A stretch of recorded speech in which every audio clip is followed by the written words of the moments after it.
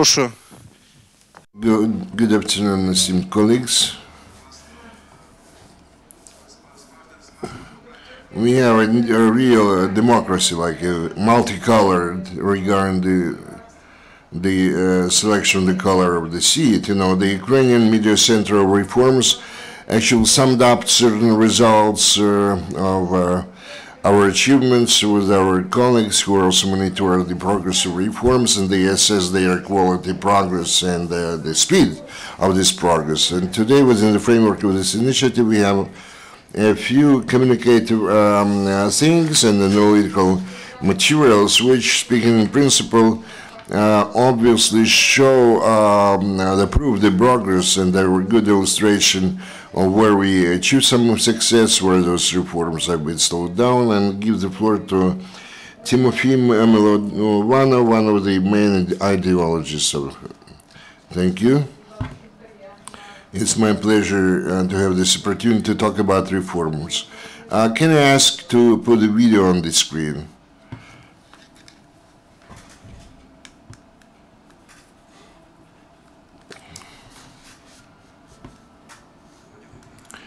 Over many years, the powers that be in Ukraine promised to implement the necessary reforms.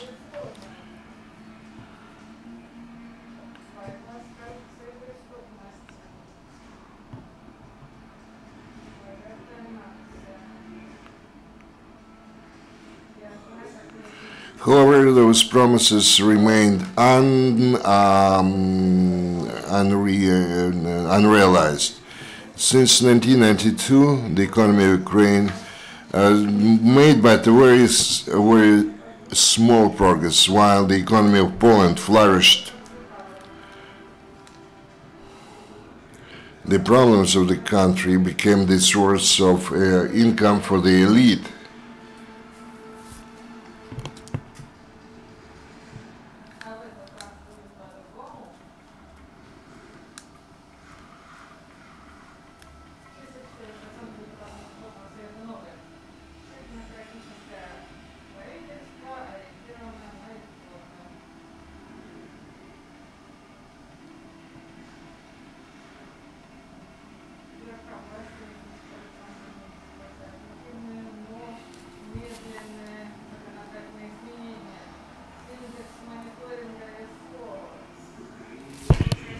They started positive changes in Ukraine, though uh, very slow ones. Especially slow tempo was specific for the decentralization sphere, the compe- competitive policy, and the state management. Uh, much better dynamics was obvious in um, uh, the sphere of the, the public finances, rehabilitation of the banking system,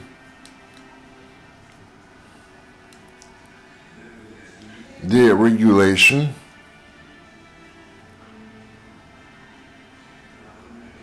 and also in the energy sector.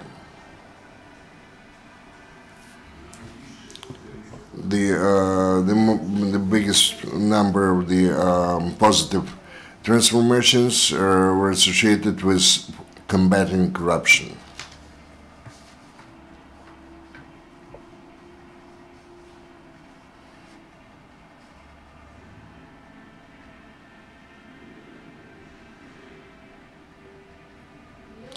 But the people remained unconvinced.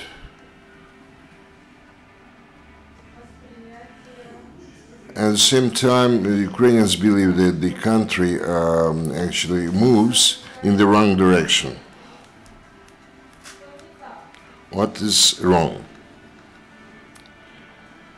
Uh, we lack new people. Do we lack new people?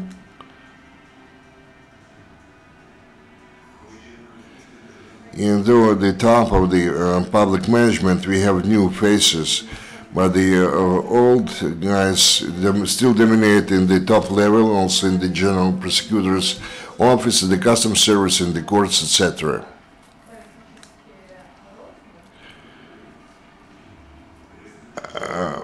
by uh, uh, nominating new government, the parliament does not give it uh, necessary support to this government, I mean.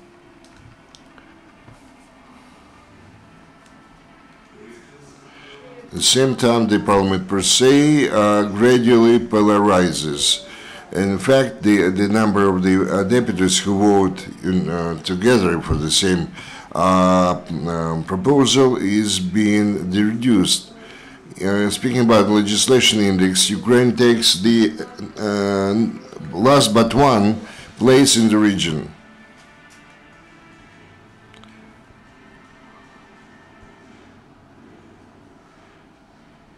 What is next?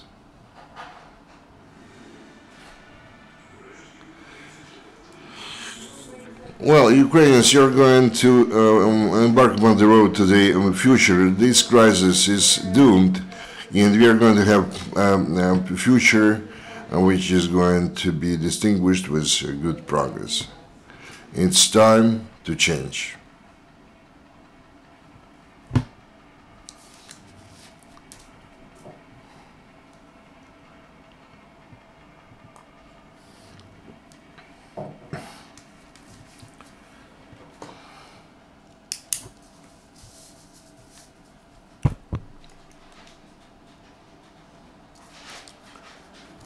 Uh, thank you very much for the opportunity given to us to show this video uh, with a presentation or assessment of the reforms, and first of all, legislative ones, and also to touch upon some um, critical topics why the reforms are not really perceived or supported by the people. I would like to turn the mic to Pavlo um, uh, Kuhta, who is a very active person, uh, very active in the uh, iMoRe uh, project. Thank you.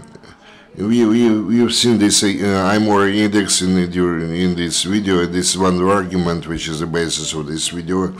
Uh, and uh, the index which we use in order to measure the level of reforms in Ukraine. What is uh, what is all about? It's based on the expert opinions. We actually uh, questioned, or let's say, we polled the experts who we uh, place much confidence in, and we did that in five um, uh, directions, so to say, in five spheres.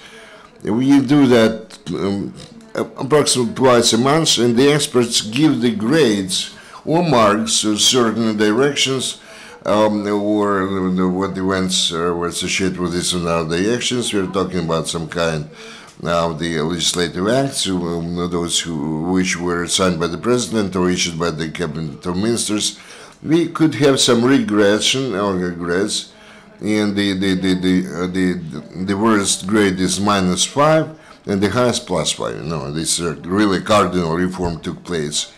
So um, between one just almost nothing and uh, all the way up to five the complete change of the direction this is the um, monitoring reform index over the last year when we actually start our reforms uh, you can see here, yeah, you know, you can see here a certain problem.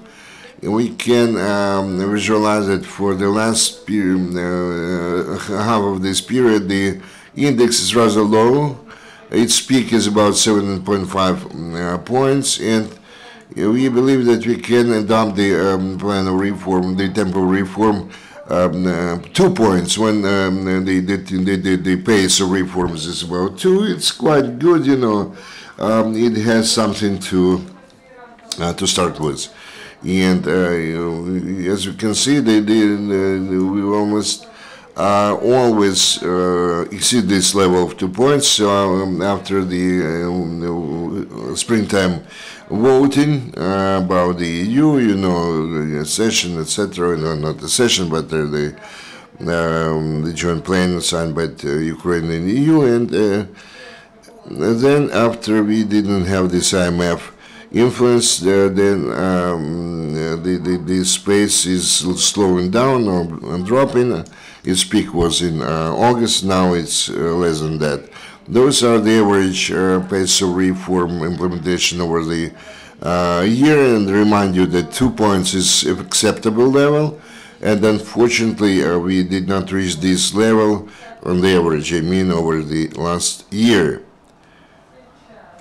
I believe Well, the, the, the main issue is uh, what tendency you're going to base yourself on for the next period.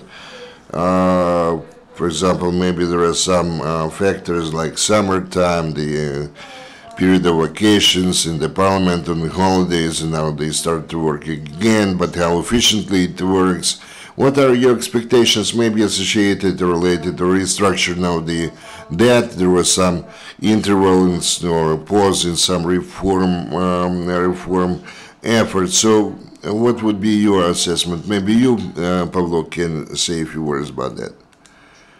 Well, it's obvious that um, the, the, the decrease of this index of late was associated, uh, uh, first of all, with the passive um, behavior of the Verkhovna Rada, Parliament of Ukraine, which uh, did not pass a single decision in very important sectors. They did not vote, they did not discuss those very important things, and this uh, makes us uh, think why the uh, pace of reforms is lower or slower as the minimum required one. I, I would give two different components of this reason. One is the let's say, well sort of um, uh, slowing down the reforms, or even three uh, reasons.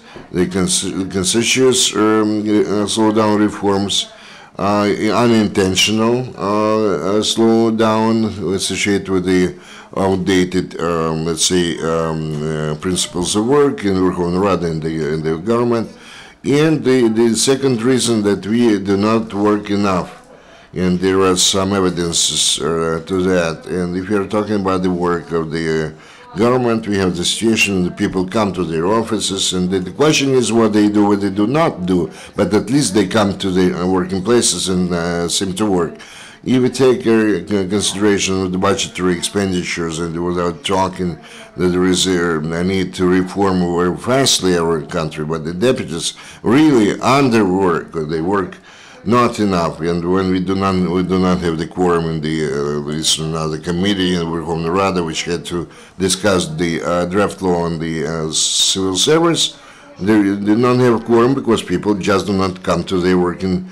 Uh, to their offices. And again, we, we, we failed to consider this the public procurement uh, law, and they took us three, uh, two, three times to do that because there were not enough deputies in the parliament. And of course, we um, there are a lot of uh, other things which are required for the reform, but the fact that they do not work enough, this is one component of that. Another component of this reason, if we started from the end, it's uh, the uh, improper procedures. Very often the problem lies in the fact, we are talking about the government first of all, that uh, the adoption of the required decisions is being delayed too much.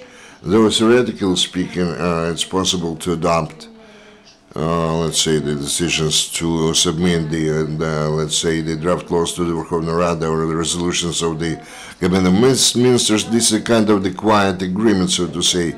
Um, and if they believe that if there is no response for several uh, weeks, uh, it's believed to be coordinated, but in fact, the cabinet ministers just do not give uh, uh, green light to those reforms. So we don't have the procedures how to change that. We were talking about 15, about this uh, 15 years back yet when we they discuss more efficient system when we have some governmental committees, committees where the um, uh, let's say uh, the concerned ministers, in, let's say, in this uh, speaking about state policy or public policy, etc., they can discuss some certain drawbacks or shortcomings, and only after that discussion they submit this to further consideration of the cabinet of ministers. And yet they do not have this procedure when the, the people need to come with their papers and ask the uh, written uh, let's say, coordination or agreement, and then once again, complete cycle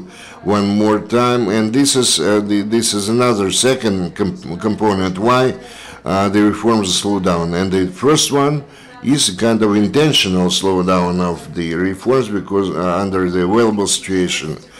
Uh, we are fortunate, we are blessed that the, we, you know, we could talk about the worst scenario, which theoretically could be the case if we follow um, uh, this road uh, further on, but the politicians have to follow the path, if, if they uh, follow the path of cancellation reforms and bringing the situation even to uh, changing for the worse, uh, this is impossible. So this we have to create um, uh, all the uh, terms and conditions when the, let's say when there is requirement on the world public to speed up the reforms, but uh, they, uh, you know, the every day of delay of implementation of uh, those reforms means the reduction of, let's say, the source of income of those people who have been using that for a long time. That's why we are um, going down the hill, and we do have to do something there not to stop this tendency um, because it will turn into negative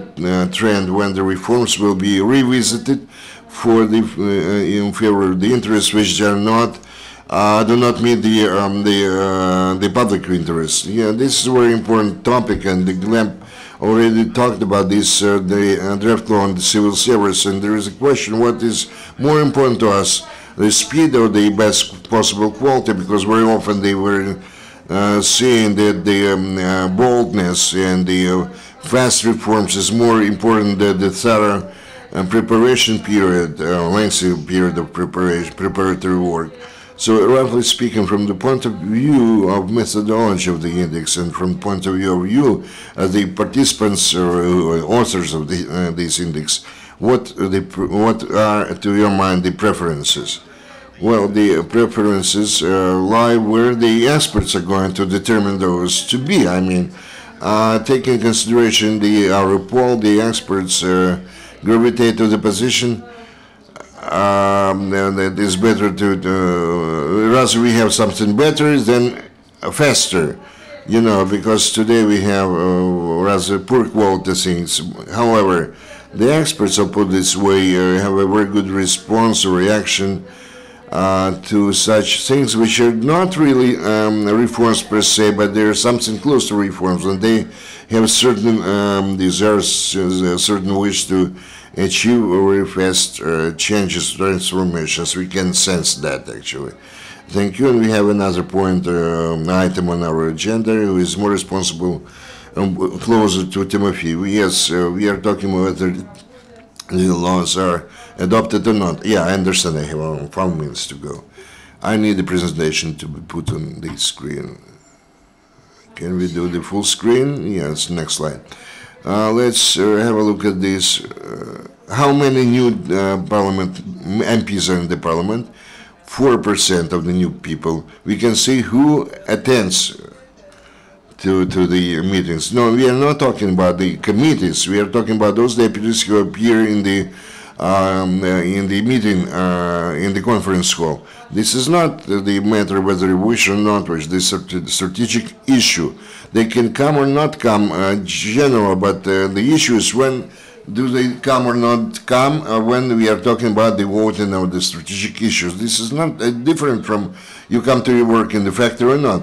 There is some political, uh, let's say, component um, in their um, failure to come to their work. But uh, again, among those, the new ones, this standard, this index is high, a bit higher. What again? Let's uh, let's uh, let's say what is new deputy, politician or not? We are talking about a person who can write or draw up a law, adopt this, and implement this law afterward if you want to say that the parliament has been in uh, um, uh, kind of has fresh blood when new people came, but if the laws are adopted only by the old people using their old connections, this is we cannot say about the renovation of our parliament. Uh, we have to create the terms and conditions, but the new MPs can write the laws, uh, adopt, implement this. Uh, see the new persons, they implement less than half of the uh, draft law, but they implement more than half of that. They, that means that this, they are more actively working than the old ones, which is not usual thing for the old democracies. For example, in the USA or other uh, developed countries, the old people know the rules of the game. You know, they have more tools and the corruption, etc., etc. So this is actually the positive fact. Next slide. Um, here we have the assessment uh, who, who is in the majority and who is in the minority. But for the lack of time, we are going to, uh, to move on. Let's uh, let's see who is the initiators. Uh, well, uh, for example, the cab- cabinet ministers provide the, the or wrote the draft law on the civil service, and it, it is not being adopted. So we can look at uh, individual uh, laws, but uh, the Ukrainian parliament in the first and second sessions they had more than 3,000 voting votes for different laws. Some of the laws were adopted, some not. So let's see. The president of Ukraine initiated 58 laws, uh, 47 were adopted. So the um, the efficiency is uh, 80 plus percent. So whatever is initiated by the president, almost everything uh, is are adopted. So uh, um, the speaker of the government, Groysman, initiated 65 and then, uh, 50 were adopted. The government initiated uh, 200 uh, plus laws and only uh, 84 were adopted. Only 34 percent. We have a big di- difference what can be adopted by the cabinet ministers and what is can be adopted by the president. Now, now let's see the party, uh, the party share. You know, it's not really uh, clear. There is, uh, for example, MMP said that uh, he writes we have to um, uh, to consider some technical issues, and is being counted. So those figures are exaggerated. If we remove technical issues, the laws initiated by the MPs, uh, their number is much um, lower, but there are, and some of them are lobbyist uh, laws.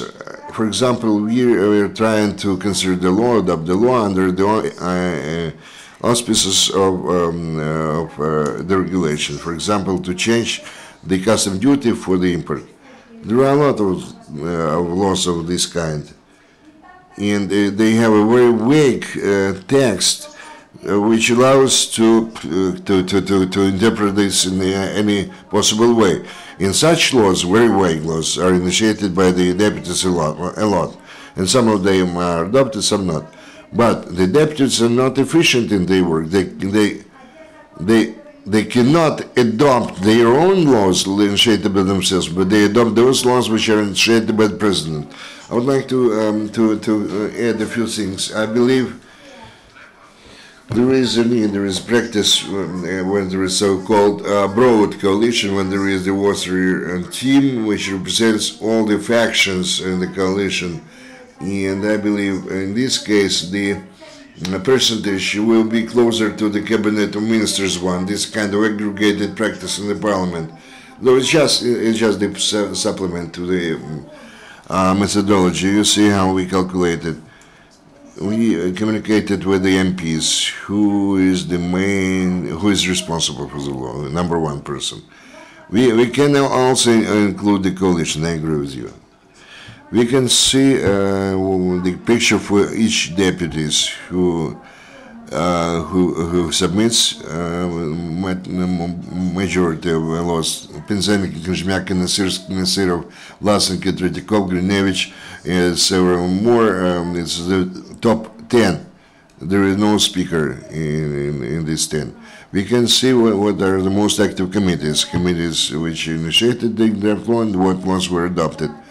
Uh, the, the, the majority and the, the best in this um, is the um, tax policy in the legislative uh, support and the law um, uh, enforcement bodies, the prosecutor's offices, the uh, interior minister, etc., and the budgetary committee. Those are the most efficient. They adopted the, the majority, the biggest number of laws. And I would like to compare. We say whether this parliament works well or not. We can compare this with Parliament uh, under Yanukovych. We can analyze two first sessions. We ask two uh, simple questions. Number one, whether Ukrainian Parliament of the convocation adopted more uh, the uh, laws as compared to the previous convocation Parliament.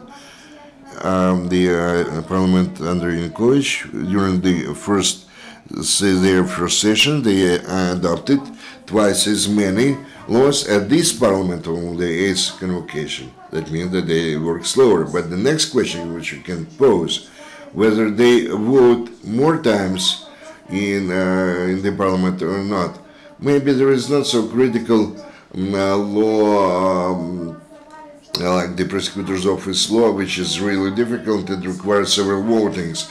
But under Yanukovych, he issued the order and they voted for that's it.